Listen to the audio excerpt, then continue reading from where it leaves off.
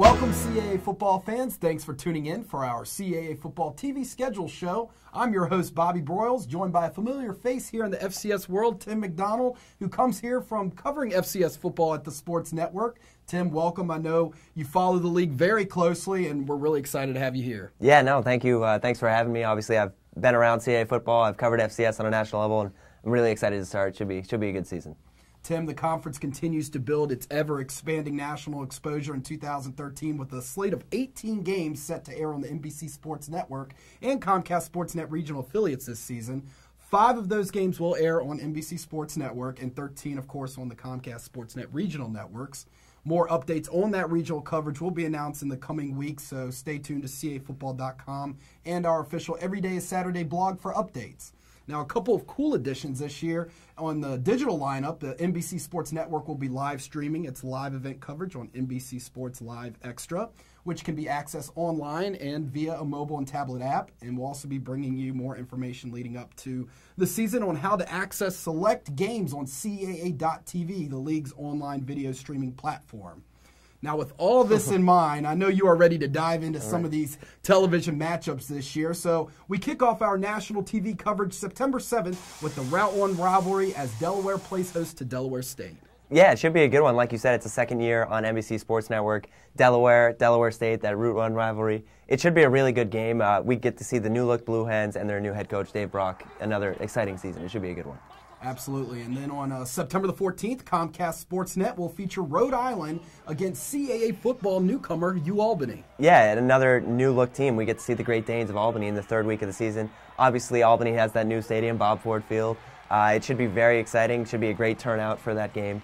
Um, and obviously, Rhode Island trying to bounce back from a tough season, you know, but at the same time, both want to get off to a great start in the CAA. The next week brings us our initial look now at the Stony Brook Seawolves when they square off against Villanova on Comcast Sportsnet. And this one's a little bit a, a, little bit of irony here working into this. Obviously, we know that was a first round matchup in the playoffs last year. Stony Brook co-champs of the Big South in 2012, Villanova co-champs of the CAA, but they won the automatic qualifier. Villanova, I think you know they kind of want that revenge factor. Mm-hmm. This is an early season game, a lot of big expectations early for both teams. How are they going to react? And it should be a really good game. As we flip the calendar Octo- to October, we begin with an exciting matchup between New Hampshire and Towson, a series that has featured a ton of scoring as of late. Yeah, you know, the last two seasons, this game has absolutely been a marathon. Uh, both teams have gotten out to a fast start. Two years ago, Towson took New Hampshire at Towson. Last year, Towson, of course, in the last game of the season, absolutely whooped New Hampshire. Both teams' offenses are just very explosive, so it should be another great one. Then October the 12th will be a big one across CAA football as in-state rivals James Madison and Richmond collide as part of a TV triple header that day. Yeah, it should be another good one. Again, uh, two quarterbacks of these teams, Michael Birdsong, kind of taking over that JMU offense. Uh, JMU got a new offensive coordinator. And then, of course, uh, Michael Strauss at Richmond uh, came on late last season, and Richmond had another great offensive year. Uh, both of these teams, it, it's October, but it's going to have big implications. Then later that evening, it will be Villanova traveling to take on the Towson Tigers on the NBC Sports Network. Yeah, nice little doubleheader here. Uh, it should be another good one. Obviously, Villanova and Towson last year's game was great. Uh, reigning FCS award winner, uh, Jerry Rice award winner, I should say, John Robertson of Villanova. He's back at the helm. Everyone wants to see what he's going to do. Has he progressed as a passer? Has he progressed as a runner? Um, and then, of course, Vil- uh, Towson, you have Terrence West, and you have a new quarterback under center. And even though, like I said, even though it's early, both of these teams want to get the CAA schedule started right. Then, as we make our way into November now, we've got a doubleheader on the 9th as JMU heads to Durham to take on New Hampshire on the NBC Sports Network. Yeah, another great matchup. Uh, JMU defensively, Stephon Robertson, the reigning CAA Defensive Player of the Year.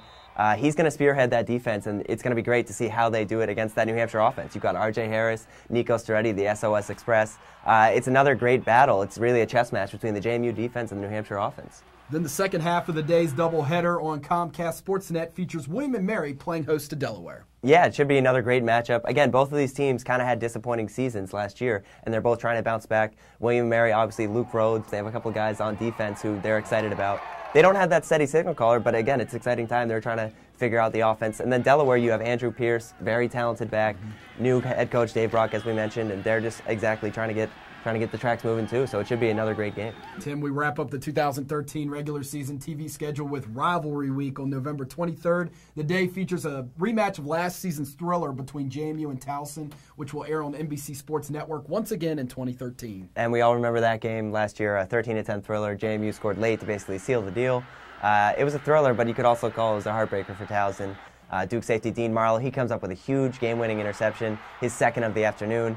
Again, it should be another great matchup. Uh, Daquan Scott, the running back for JMU, and Terrence West, the running back for Towson, they were held to four yards per carry. I expect another battle in the trenches. It should be another good one. Both teams kind of struggling for offenses. Obviously, at the end of the season, you got to think it's going to have playoff implications. Should certainly be another great one in Towson, Tim. And as we wrap up today's CAA Football TV schedule show, it may be the preseason, but the fall will be here before we know it. And there's a lot for our fans to look forward to sure. coming up in the next few months. We have CAA Football Media Day at M&T Bank Stadium, home of the Super Bowl champion, the Baltimore Ravens. It's coming right around the corner, so it should be should be a good one. Absolutely. On Wednesday, July the 24th, live show with tons of interviews with our league's coaches and players. We'll also have team by team previews shortly after that as part of our 11 teams in 11 days series in August. And then I know you're excited. I'm, I'm definitely excited about this one. CAA football will be coming to campus this fall. We'll be traveling to one school every week this season, and we'll have more on that for our fans coming soon.